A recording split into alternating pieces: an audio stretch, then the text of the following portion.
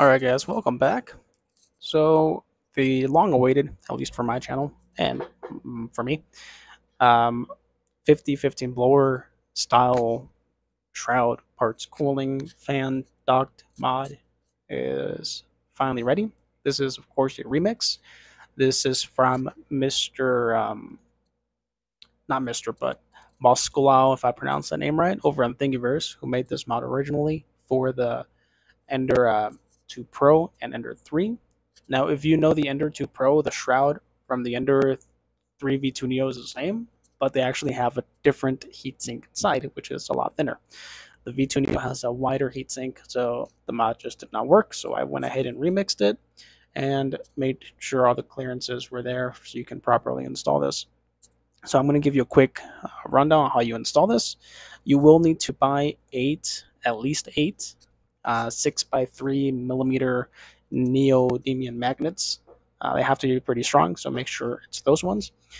And you will need four going on to the shroud itself and another four for the mount. This is a shroud, this is the mount.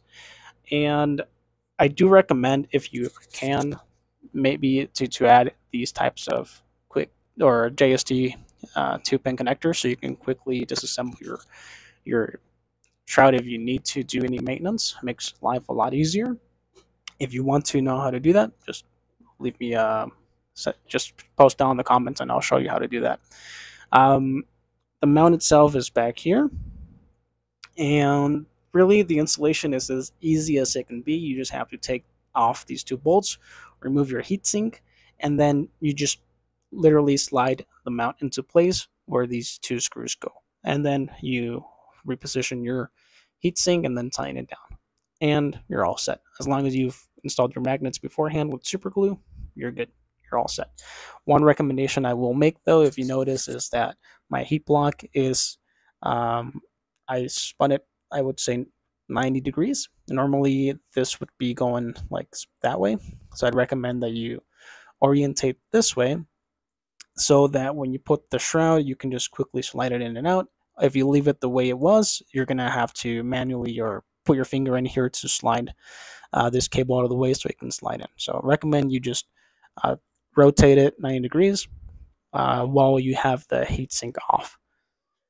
And of course, you'll have to just loosen up these two bolts here. And um, because you will be rotating it, you'll have to remove the two uh, screws that go in there. I haven't had those screws for a long time. I actually stripped them, but uh, you actually don't need them as long as the nozzle and the uh, the heat break is you know tightened properly.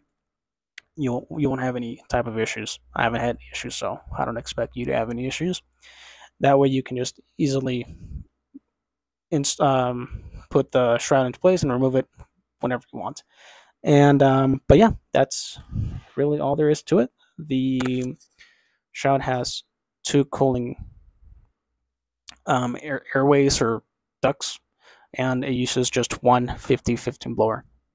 The cooling is a huge upgrade. If I say so myself, it just blows up a lot of air compared to the original one. And to put it back into place, it's it's really that easy. You just that's it. You're set. The reason I wanted this mod so much is because it do, it keeps the bed leveler the same. Um, there's going to be two mounts. Uh, there's a second mount that's going to be so that the shroud you can actually put it a little bit higher than what it is in case you don't have enough clearance for your nozzle. Make sure you have clearance for your nozzle um, before you print anything else. Otherwise, your um, the cooling ducts will will not work properly. So, but yeah, this is probably one of the best mods I have installed on this machine. So definitely give it a try. If you have any questions or any other requests, just leave me a comment. And uh, yeah, have a great day, guys. Peace out.